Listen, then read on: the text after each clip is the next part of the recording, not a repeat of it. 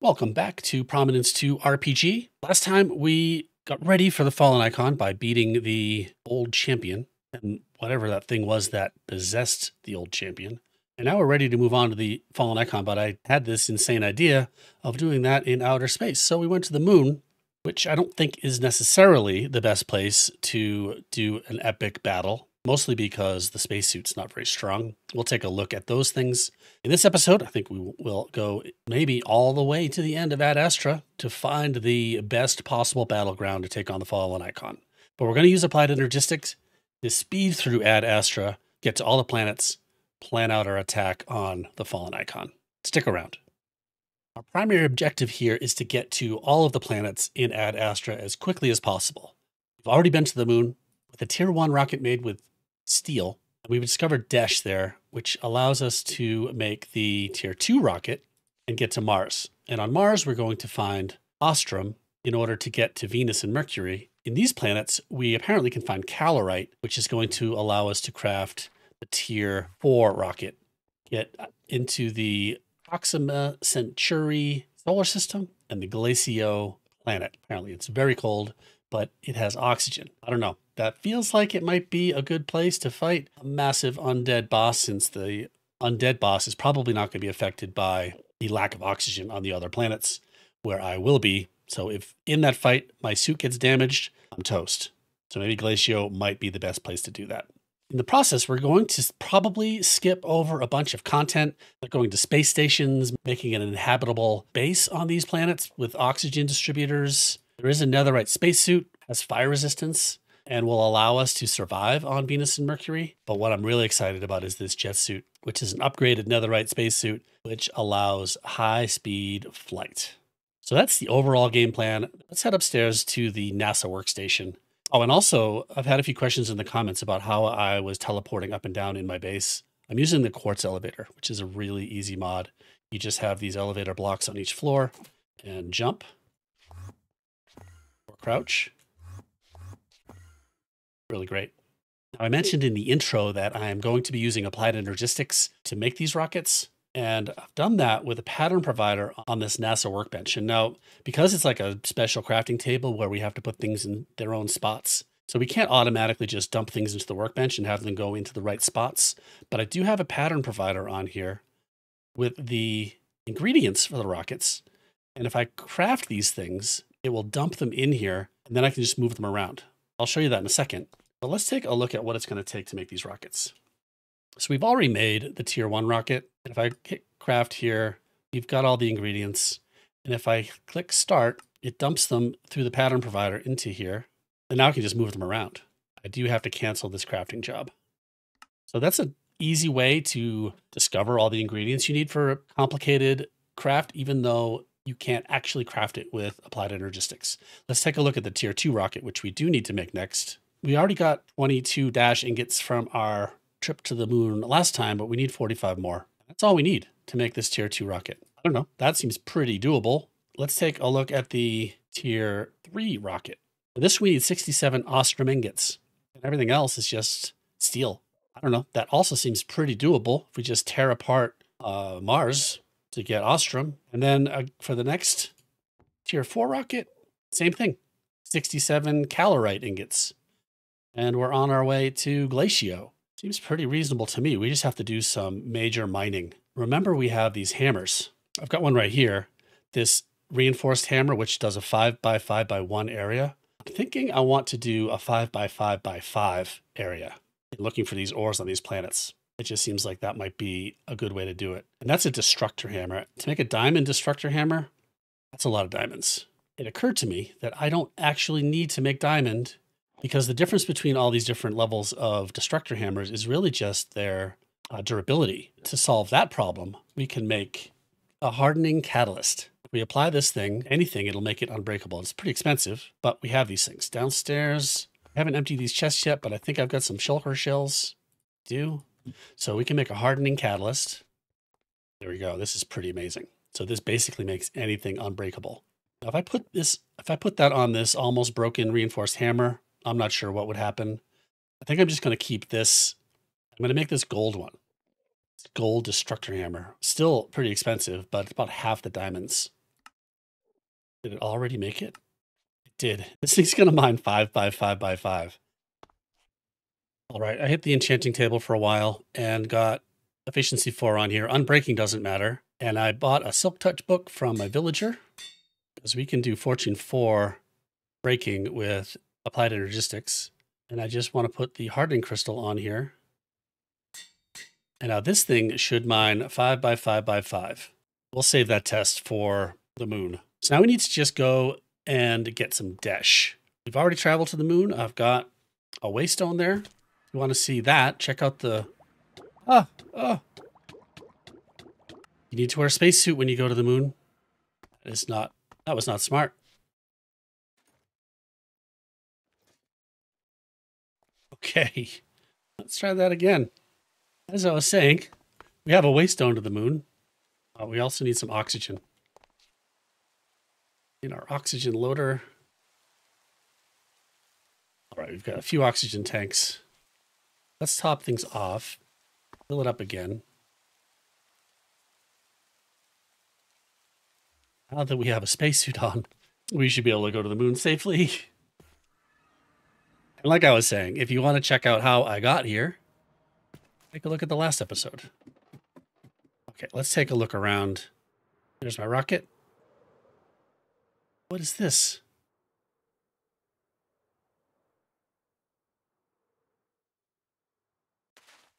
Just ice shards falling from the sky? That's pretty cool. So somewhere nearby was a deep cavern that I'm hoping I can mine in. There it is.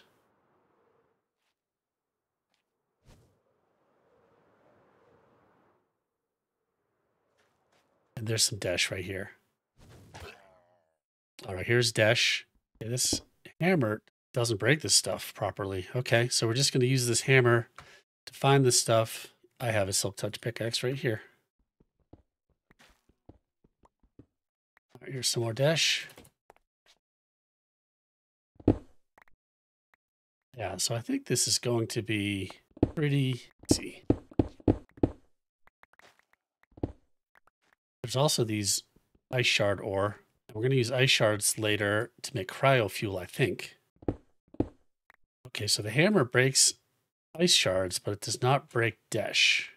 Didn't work out quite as nicely as I was hoping, but yeah, it breaks ore, iron ore. It just doesn't break Desh ore.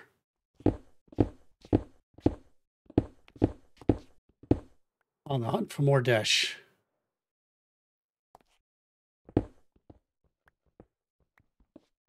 So far, Desh seems to appear mostly when it's exposure to the air.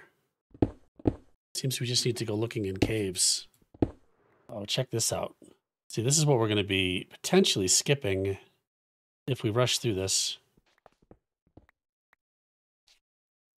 There are these moon dungeons. This is crazy.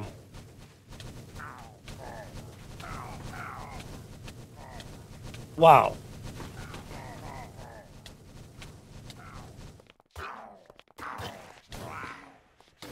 These things? Star crawlers. Pretty tough. Alright, I think if we explore this well enough, we'll find some Desh deposits and chests with loot in them and some pretty good stuff. But I don't think we need it. Let's just get out of here. Our waystone is in here. Let's see if we've got enough Desh.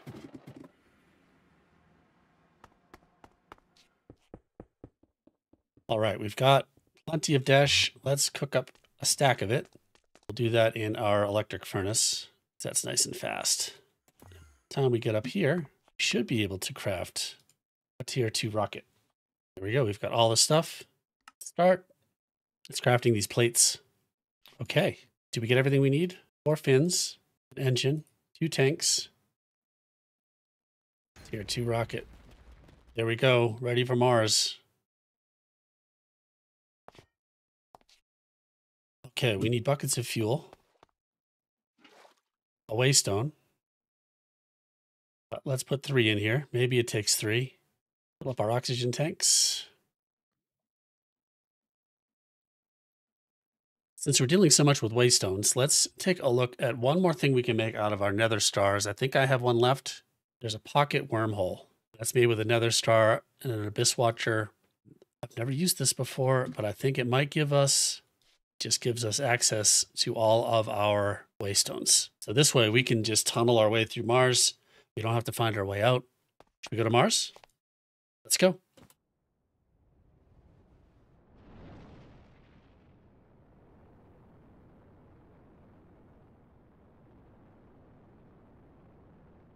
I have this terrible feeling that I'm forgetting something. I leave the iron on. Okay, so now in our solar system, we can go to Mars. We can go to orbit or the Mars space station. Every single planet has a space station. I think we'll skip that. Why am I being warned? I don't like that. Uh-oh. What is this thing? Martian Raptor. Although we just put a waystone down. Mars. All right, we just need to find, it seems like a promising location.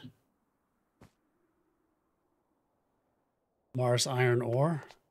Ostrom, this is what we're looking for. Silk touch it. More ice shards. Yeah, we just need to do some mining. Get this Ostrom. Okay, thanks to our pocket wormhole, we can just run around here and not worry about getting lost. Let's just find all the Ostrom we can. While we're getting stuff, let's take a look at the suits. So there's the netherite spacesuit that requires extra Ostrom. So we're going to need extra Ostrom, and then the jet suit is made with calorite. Just gotta find more Ostrom. Pretty easy though.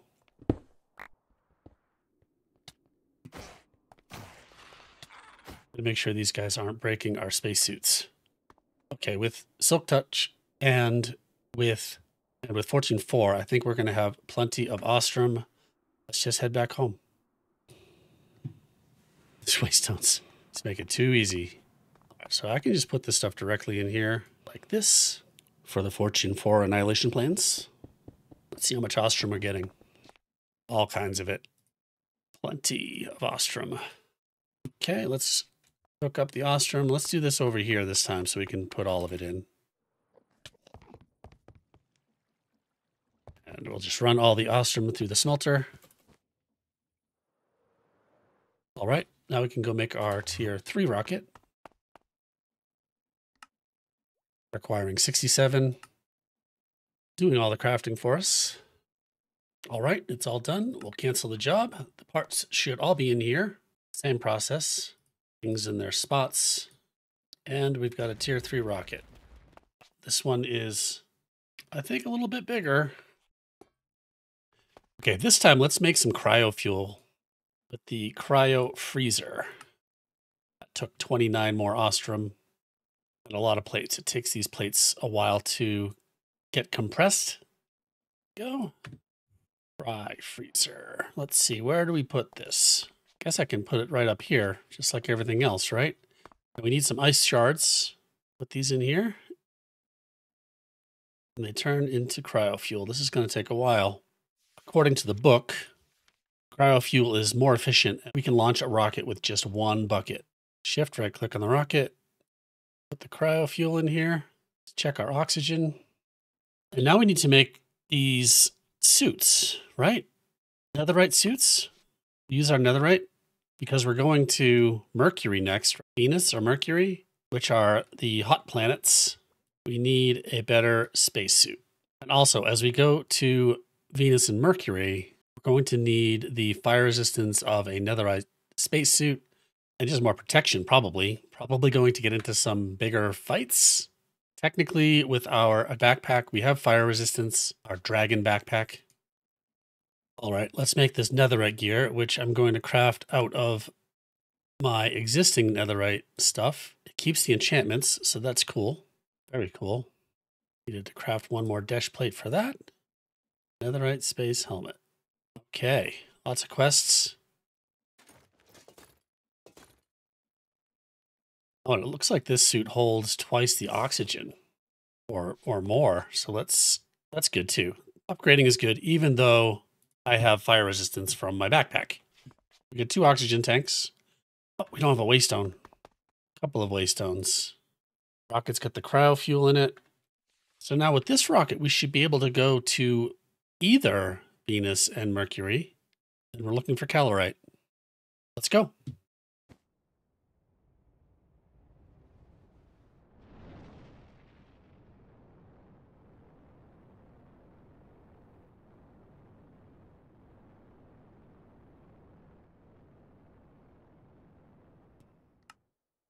Get this. Mercury, Venus. Well, let's go to each. Put waystones down. Oh, we're going down fast.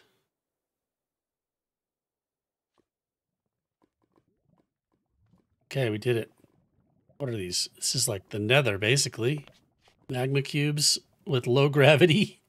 Put down our waystone, guys. This is not a nice place. What's this ore? Iron ore. Okay, waystone right here. Mercury. All right, same routine. Let's go find a cave after we mark our map. See anything good? Maybe to the north, these caves up here. Those look promising. Yes, it does. Let's do it. Let's go down here.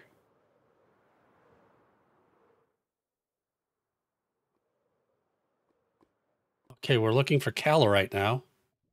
I don't know. I have a feeling this might be harder to find. Not seeing anything down here. Let's just go deep. What's this? Iron. Just try tunneling.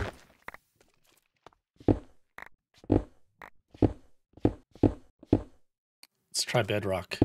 Maybe it's like diamonds.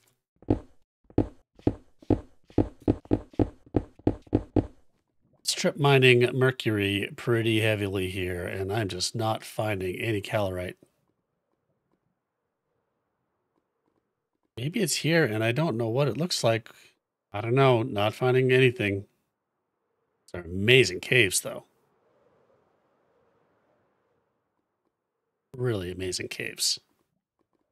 Okay, well, should we go to Venus?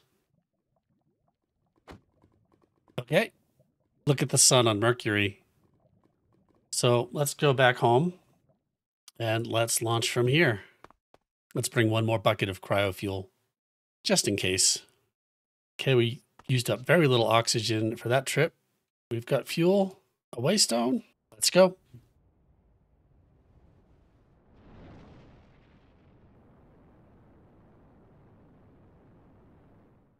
Okay, Venus, here we come. There's a lot of gravity on Venus also. This looks a little friendlier. Oh, maybe that warning is if you're going too fast. Venus is definitely better. Pretty cool space stations out here. Or whatever they are. All right, here we are on Venus. Let's just go check out these structures, see what they are.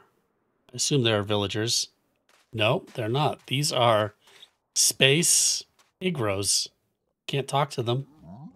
I wonder if we can trade, if they'll take gold. We need to try this. We can trade with these guys. What'll he give me? A spectral arrow. Seems to be the same loot table as piglins. Yep. Okay, moving on. What's this other structure? It's just another... Uh-oh. Yep, that makes him mad. I'm going to take your diamonds, though. Okay. They did not like that at all. Okay, we need to find a cave. Okay, does this seem like a reasonable cave to try out? I think so. Oh, what's this? Coal. Venus coal ore. Nope. All right. Lots of coal on Venus. What's this? Here we go. Calorite. Got a couple of them. Looks like Venus was the right move. This is what we need. Nice big cave. Right, here's some more.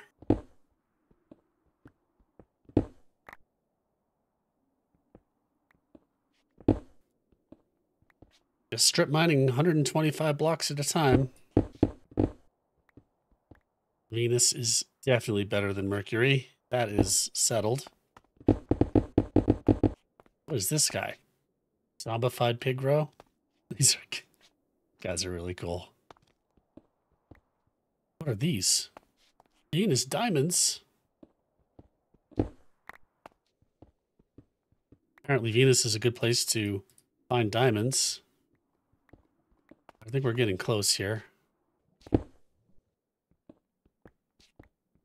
think we've got just about enough calorite. Maybe we'll find one more bunch of it. Here we go. Venus mining is too lucrative. I can't go home. I'll find more diamonds. Ask and you shall receive. Wow. Jackpot. Definitely only coming back to Venus for diamonds. I like Venus. I hate Mercury. I like Venus. I am glad I went to Mercury first, just so I know. Don't think we'll be going back. All right, we're down to half oxygen. Let's head back home. Make a tier four rocket. So we got 40 diamond ores. I broke some of these with without silk touch, but I was using fortune four. Let's just see how many diamonds we have. 65. Put those in there.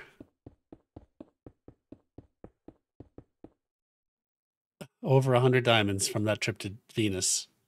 Okay, let's smelt up all of the raw calorite.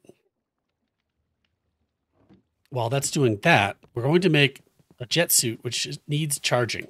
The Ad Astra way to do this is can be charged with an energizer by right clicking it with the jet suit. We're going to need a bunch of calorite. Hopefully we have enough. Wow, blocks? I think we do. And here's the energizer. We can carry it with us to charge our suit. But we have other technology, which is from the Powah mod, which is a player transmitter that allows us to wirelessly charge anything in our inventory. All right, let's make tier four rocket. We have everything. We just need for this thing to go through the process of making some sheets. Okay, tier four rocket.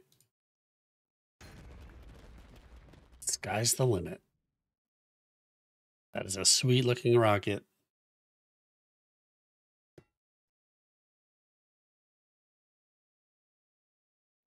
Okay, jet suit. All right, well, that's embarrassing. I made the jet suit without recording, but basically it was just just a bunch of crafting of these things, just like before. So I guess we maybe saved us all a lot of time in watching that part of the video. I also got wireless charging going with this player transmitter from Powah.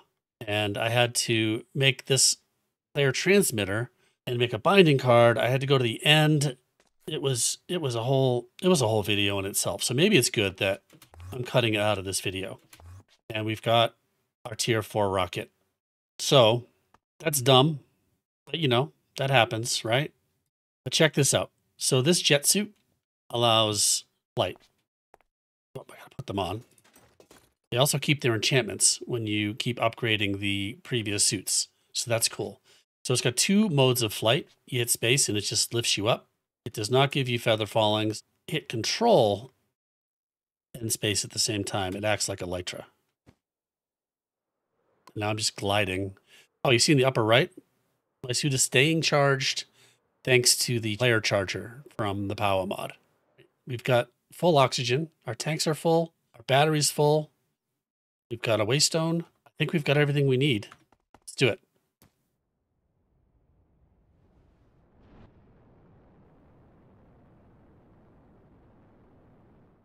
Okay, we've got a new solar system here. Proxima Centauri, Glacio, Glacio. Yeah, so I guess that warning is when you're going too fast for landing. Took me a couple planets to figure that out. Do not want to crash on the final descent. All right, here we are. What is that? Is that another planet? The moon? A moon? This is pretty amazing. Let's put down our waystone. All right, let's fly around.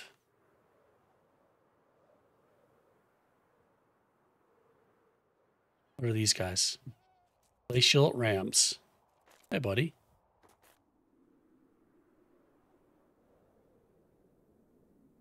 What kind of stuff do we have underground here? Copper. Copper and coal. Well, there's not much going on here on Glacio. I didn't find any structures or dungeons. We can take off our suit so we can breathe the air here, which I guess makes this a good backdrop for the Fallen Icon fight. Next episode.